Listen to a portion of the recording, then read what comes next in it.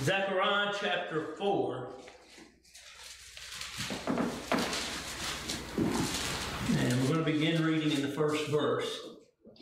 Zechariah chapter 4, in the first verse, the Bible says, And the angel that talked with me came again, and waked me as a man that is wakened out of his sleep, and said unto me, What seest thou? And I said, I have looked, and behold, a candlestick all of gold, with a bowl upon the top of it, and his seven lamps thereon, and seven pipes to the seven lamps, which are upon the top thereof, and two olive trees by it, one upon the right side of the, uh, of the bowl, and the other upon the left side thereof. So I answered and spake to the angel that talked with me, saying, What are these, my Lord? And the angel that talked with me answered and said unto me, Knowest not what these be? And I said, No, my Lord. And he answered and spake unto me, saying, This is the word of the Lord unto Zerubbabel, saying, Not by might, nor by power, but by my spirit, saith the Lord of hosts. Who art thou, O great mountain, before Zerubbabel, that thou shalt become a plain? And he shall bring forth the headstone thereof with shoutings, crying, crying, Grace, grace unto it. Moreover, the word of the Lord came unto me, saying, The hands of Zerubbabel have laid the foundation of this house. His hand shall also, also finish it. And thou shalt know that the Lord of hosts have sent me unto you who have despised the day of small things. Dear Lord, we thank you and we praise you and we give you great honor and glory for your word. Lord, we pray that you would bless your word to our hearts this morning, that you'd cause us to understand and know thy truths and look unto it, Lord. We pray that uh, you would open our hearts to your teaching. And we would be faithful to give you the praise and the glory and the honor for it all. For it's in Christ's name we do pray. Amen. Uh, so some not so familiar verses of Scripture, and we're really going to look at verse 10 in a moment. For who hath despised the day of small things? Now, I believe we live in a day kind of like that, don't you? Is that we don't like small stuff. We like big stuff. We like things that can be seen. We like things that we can be proud of. And as I was studying for this, I thought a little about me and Donna's first little trailer. And my in-laws are the only one, and maybe my brother-in-law. He didn't see it a whole lot. But we was in a trailer park. Uh, it's called Nelson Wallace's back then. And the, tra- the trailer was 11 feet wide and about 60 foot long. And cut into a kitchen, a living room, three bedrooms, and a bath. So they were very, very small. And two of the bedrooms was so small that the chest of drawers and the closet was built into the walls and it was uh, it was a very very small house. And but we were happy with it at first, and then we wanted something bigger. That's the nature of man. We want something bigger. Now, 35, 36 years later, soon, we're in a double wide that's almost three times as big. You see what I'm saying? We don't like the days of small things. My mom and dad started out in a house that was my my mama's great aunt's. That was two rooms, a living room kitchen combo, and a bedroom, and that was it. Outdoor toilet. That's the things they started with. It was a very, very small house. We don't like small things, do we? Now, we live to me in the days of small cars, and uh, me and Bella were looking at cars on Facebook this morning, and she thinks it's funny because my first car was a 72 uh, LTD. and that thing was huge. I mean, it was like a land barge. But I don't like small cars. I don't. I, I worry about having an accident in them. I'm a little paranoid because I've seen accidents like that and they're never good. The day of small things. So, what can the Lord use and what can He not use? Well, let me say first of all, there's not one thing in the universe that God cannot use. He can use anything He chooses anytime that He wishes to use it. Uh, years ago, um, probably, I don't know if any of y'all ever met him. Maybe Adam has met, met my cousin Steve. He ended up uh, committing suicide later in his life. But they were from Granite, and he said him and his brother John, a tornado was coming, and they they dove into a a uh, a culvert. You know how schools were then when tornadoes was coming, they let the children out. I don't know if they were trying to do population reduction or what, but that's what they did to us. But and they dove under this uh, culvert and they were fine. But when they got out, the tornado had drove a straw through a light pole. That most people thinks the wind is a small thing. God uses small things for his glory and for his honor. And so we see that in the days of Zerubbabel, it was just this way, and we'll look a little bit more at it. Uh, in the first verse, it says, And the angel of the Lord talked with me, uh, talked with me and the angel that talked with me came again and waked me as a man that is wakened out of his sleep. Now, if any day was the truth of this day, the Lord's churches need to be wakened.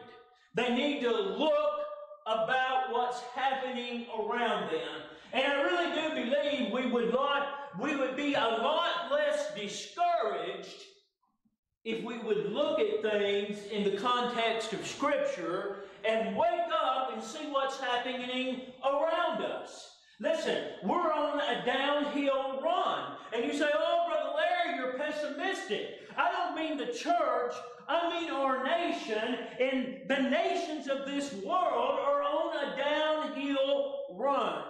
You know what? We need men to cry out and say, the coming of the Lord is nigh. You know what? Good sound doctrine is a whole lot, but five points won't get a soul to glory.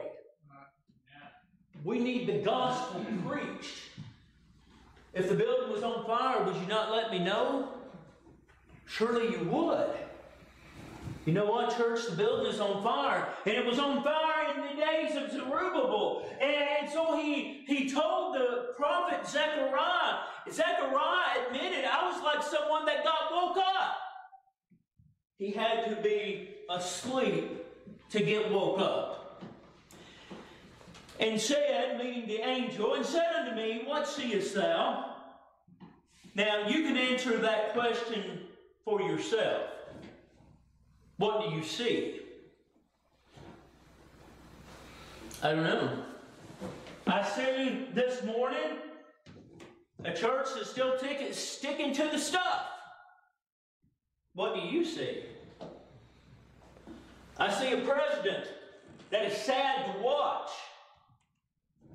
What do you see? I see an economy that's ticking like a stopwatch. What do you see?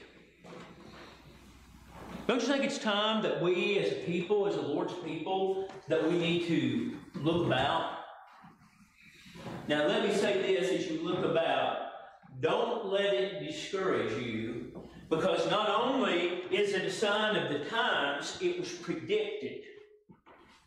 It was, it, it was, it is supposed to happen just this way, and, and we should we, we, we should be glad in the sense that it's a sign of the times.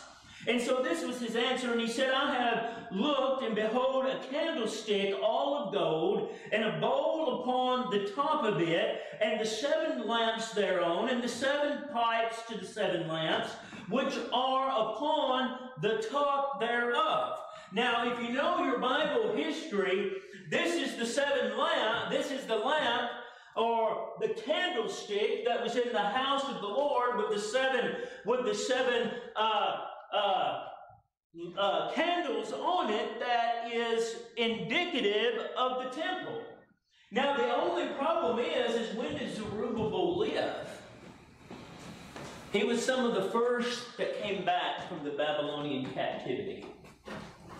There was no temple that existed. It was completely destroyed. The temple of Solomon was gone.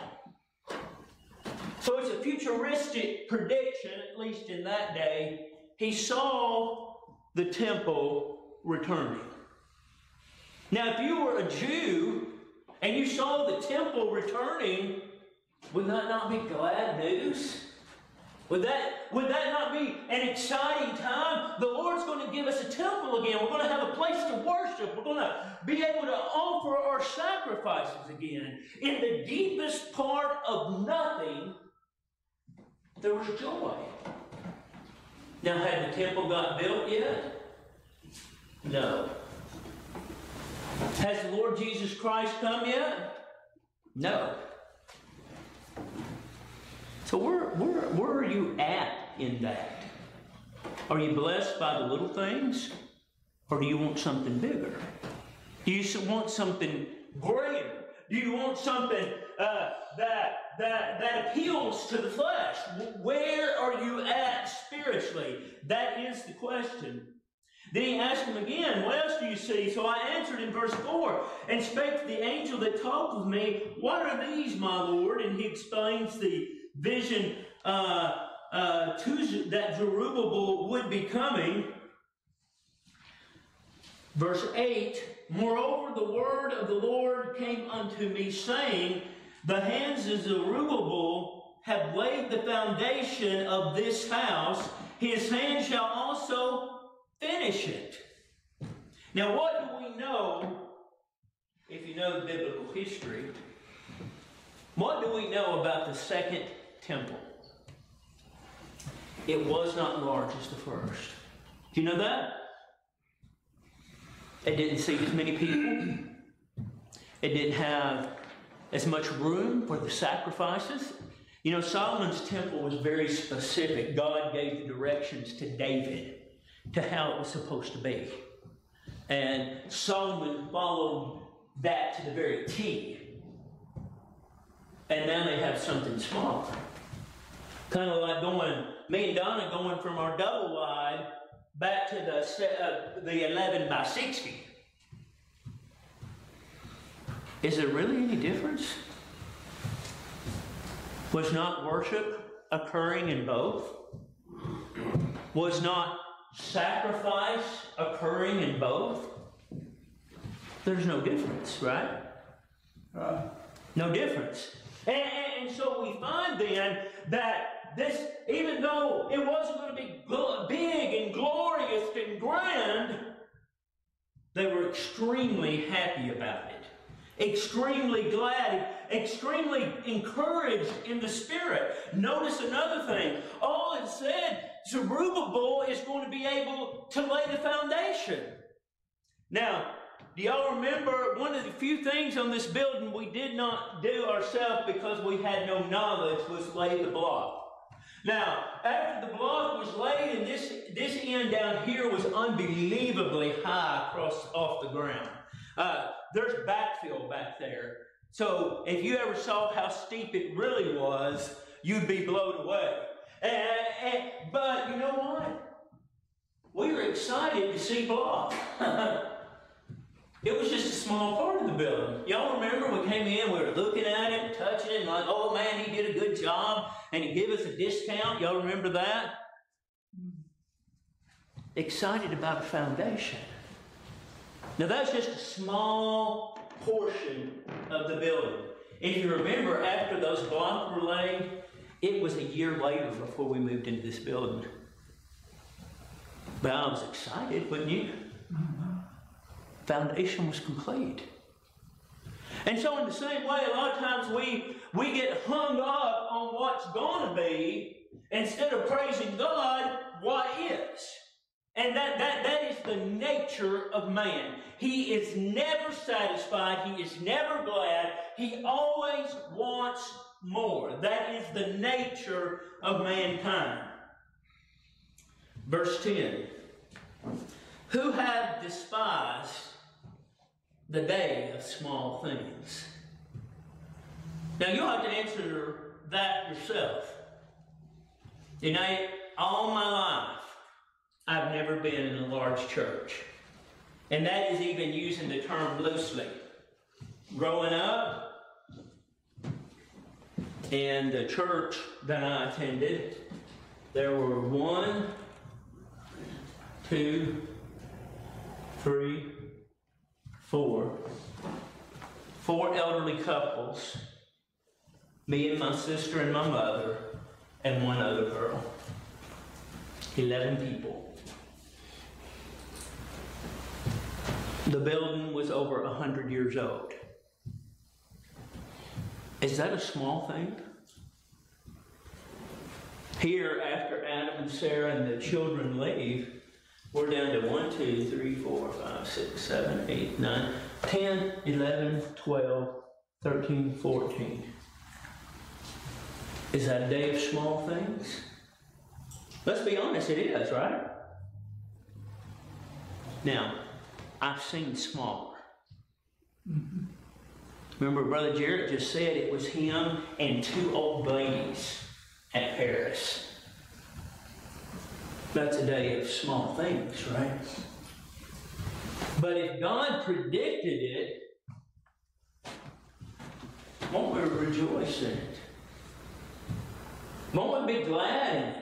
And, and what I'll have to say is small things is better than no things, right? And, and, and, so we find all through the history of uh, the Bible that God had used small things to bring glory to Himself. Because, see, if it's large things, we can say, look at what I did. When it's small things, we can do nothing but glorify God and say, look what God hath done. Amen. How many was on the work crew to build the ark?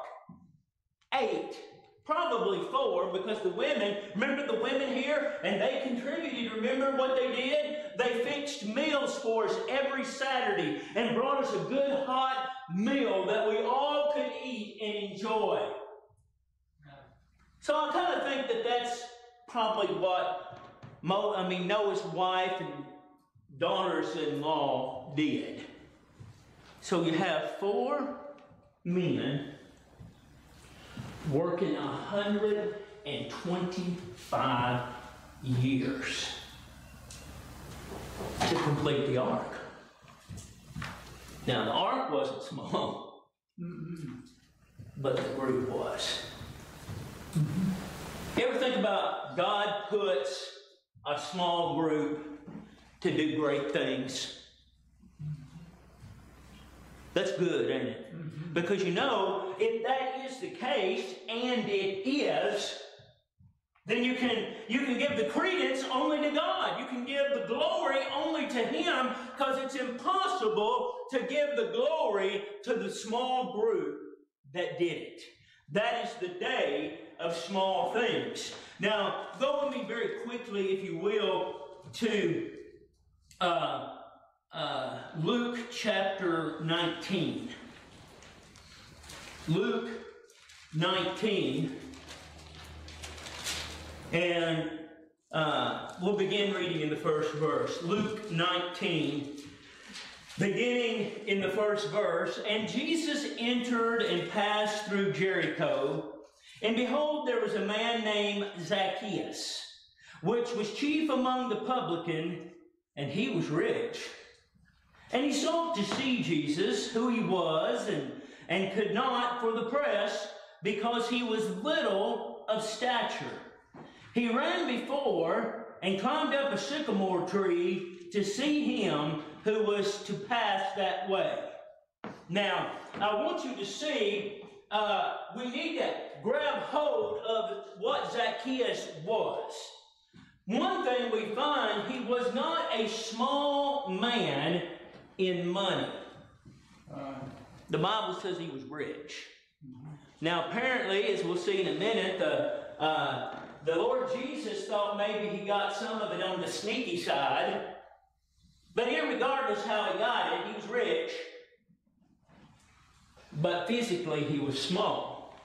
Now, as I studied in preparation for this sermon, because you know people have got taller with time. That is one irrefutable thing. And you, uh, but see, here's the thing with the people that think that they that believe in evolution. We've grown to the average almost five inches or six inches since the days of Christ. Me and Donna used to buy bed, antique beds, and you know what we'd always have to do with them? We'd have to redo the side rails because they were too short. And that was in 150 years. So in Zacchaeus' day, the average height was five foot six. And they said Zacchaeus was shorter than that.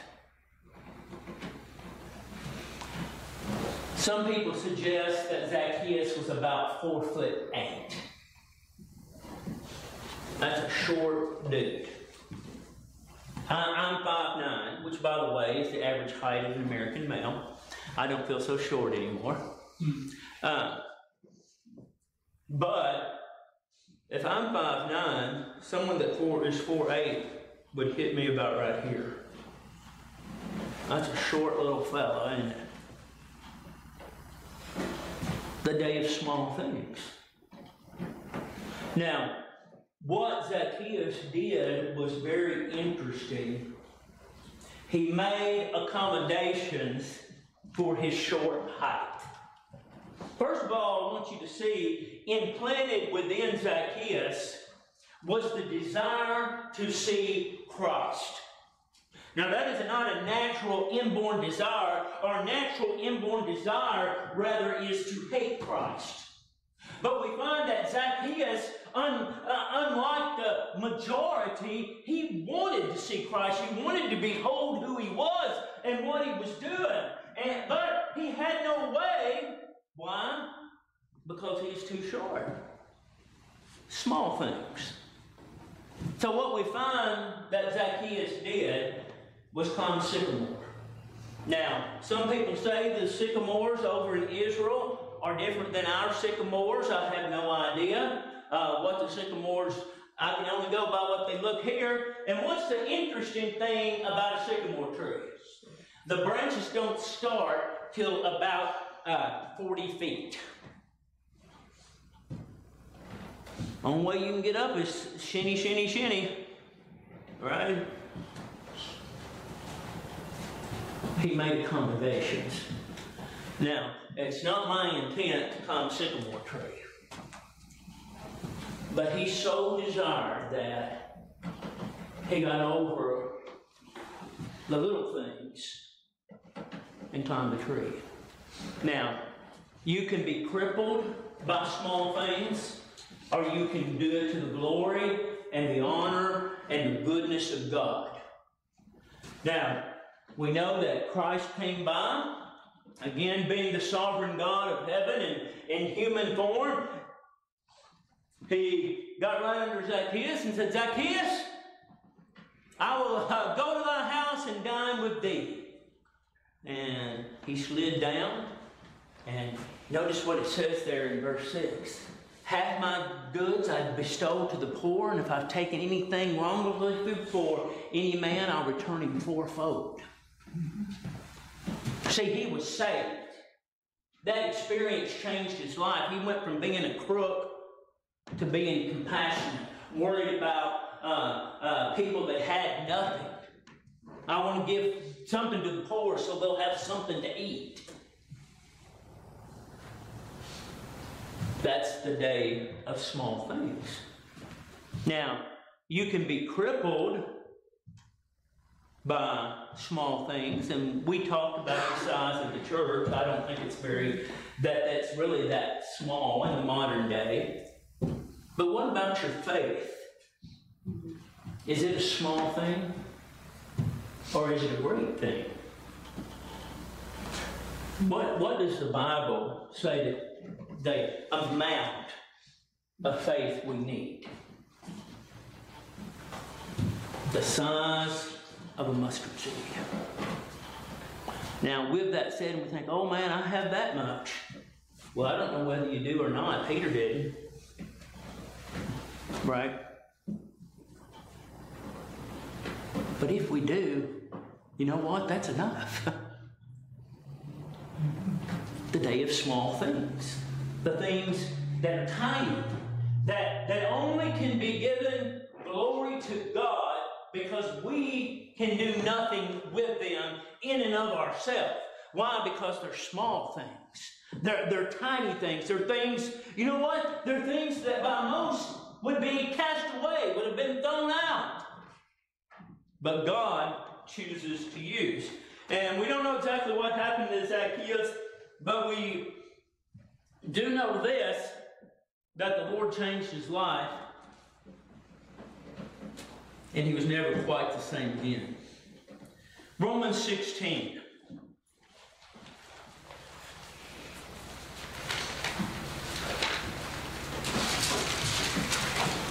By the time Jared teaches on this, y'all will have forgotten. Romans 16. Into the uh, in the very first verse, I commend unto you Phoebe. Now this is our Baptist distinctive when Sarah and Adam find a church to unite with in Florida. I mean, excuse me, y'all don't go to Florida. In Georgia, uh, we will send a letter and we will commend unto that church Adam and Sarah. That, that is the principle of that Baptist distinctive. I commend unto you Phoebe, our sister, which is at a, which is a servant of the church, which is at Cenchrea. We never know the really the origin of this church. I'm just saying there were churches that were organized and, and began where there's really no history of them having, but we know they had to have come out of the church at Jerusalem. And uh, so we find that they, she, they are commending her to the church at Rome. She's moving her membership, is how we say it in the modern day. Verse 2 that you receive her in the Lord as becometh saints, and that you assist her in whatsoever business she need of you. For she had been a succorer of many, and of myself always, also. Greet Priscilla and Aquila, my helpers in Christ's name, who have laid my life down, who have, who for my life laid down their own necks. Now, we're going to digress for that just a moment, and, and that's a service to Christ I'm not sure we understand. Now, as a reminder, they, he met Priscilla and Aquila in the book of Acts, and they were all tent makers. And remember, he shared the gospel with them. They already knew about John's baptism, but they didn't know about Christ. And, and, and he updated them on the ministry of Christ. They were saved, and now they were missionaries. And I said that to say this Would you lay down your neck for me? Would you lay down your neck for your children, for your grandchildren? You think a small person would? I don't know. And, and so we find he, he makes mention and says, You greet them, uh, you encourage them, they've helped me a great deal my helpers in Christ Jesus, who for my life laid down their own necks, unto whom and to whom not only I give thanks, but also the churches of the Gentiles likewise greet the church that is in their house. Now, how small does a church have to be to be in someone's house? Now, we've all met in my house. We met in Adam's house when they lived in this little house under the bank over here. Y'all remember that? The major part of that house, I know how big it is because I've walked it too many times. It's 28 by 28. And then it has that addition on the end. Y'all remember that? And I was encouraging the Lord that it was one of those times we ran out of gas, go figure, and the whole building smelled like gas. Y'all remember that? And so we knew we couldn't meet here. And Adam says, Well, we can go down to our house. And Sarah didn't even cross her eyes or anything. And uh, we went down there and we met in their living room. You know why we were able to do that? We were a small church. We met in my in law's house. Their living room's not the biggest living room either. Small things. Small things do great things. Small things are used by the Lord every day. So what about what about you? Are you going to be used of the Lord? Are we, as New Testament Baptist Church, are we going to be used for the Lord? I think so, because He gets great credit and great honor and great glory in the small things, in the little things, in the things where He alone could only be the answer to why the Lord is with him. Now, last but certainly not least, the Gospel of Mark.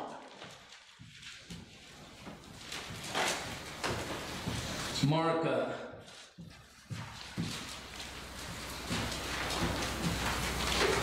excuse me, Matthew. Matthew 24.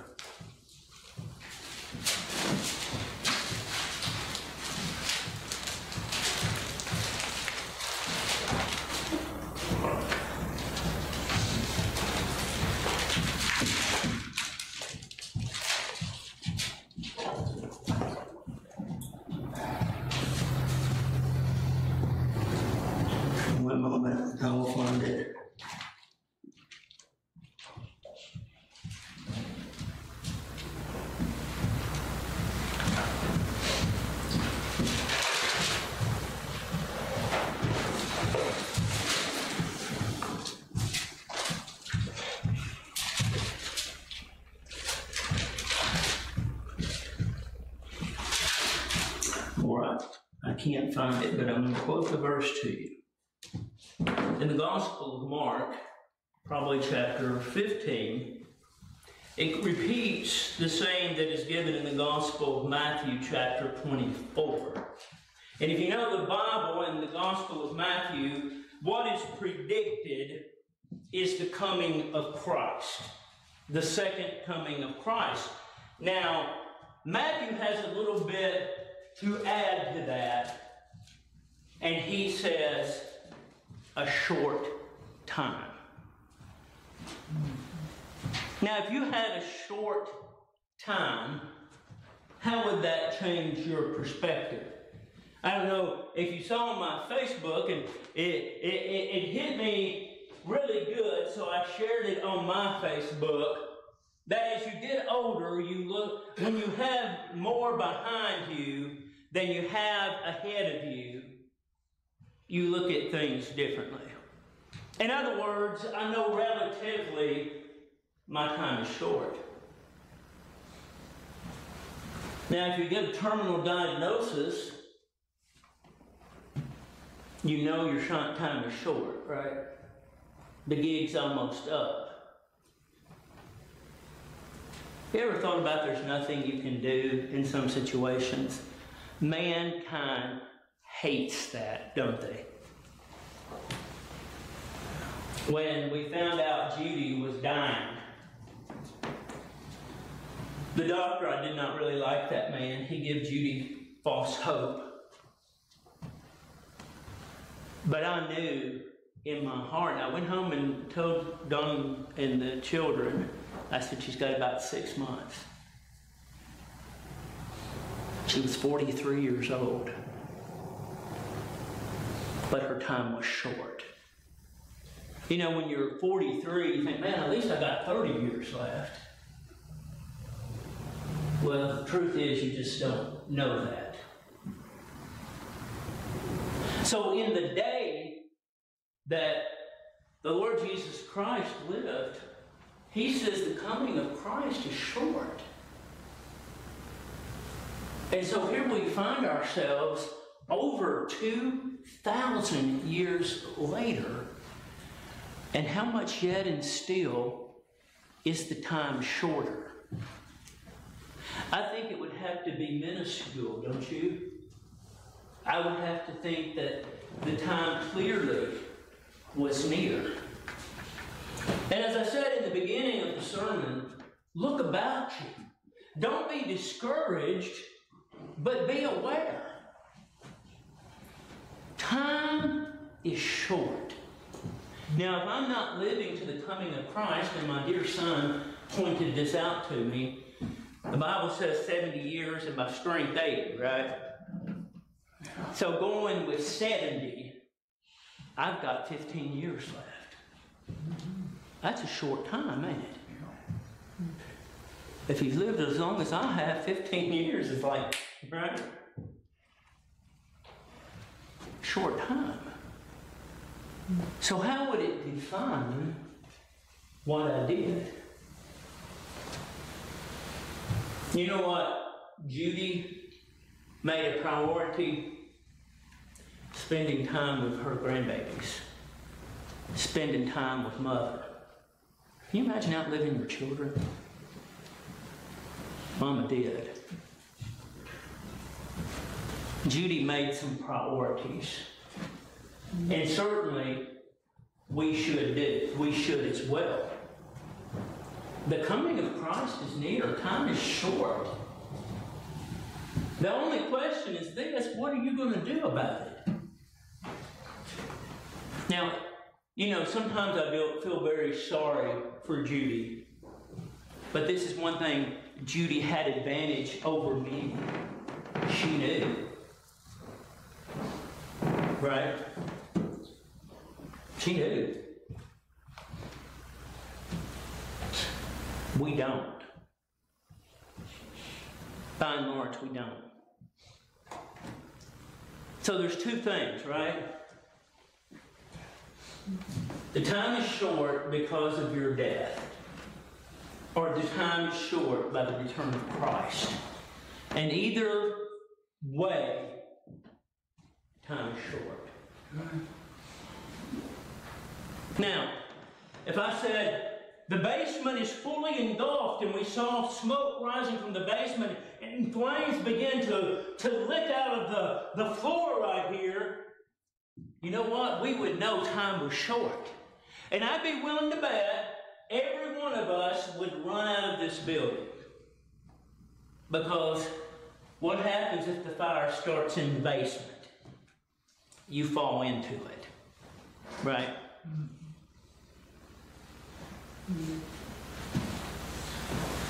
Time's short, church. What are you going to do with it? Whatever number of days you have left. Use short things. I saw this in reading the other night. The days are long and the years are short. There's a lot of truth in that, ain't it? Sometimes I think my eight hours at work will never get done.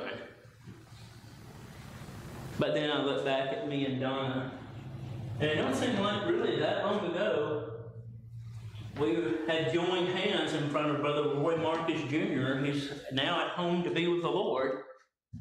And said, I do. You know how long that's been? I'll make my in laws feel old. Almost 36 years. It seems like yesterday. Time is short. Those of you that are lost, look unto Christ. He will save you. Right. Cast your That's cares right. upon Him, and He will save you. The redeemed that meet with us. Time is short. Don't waste your time. Amen. Yeah. Amen. Don't waste your time on the things this world has to offer. Mm. These things will soon, this time shall soon be past. Only the things you've done for Christ will last. Trust the Lord.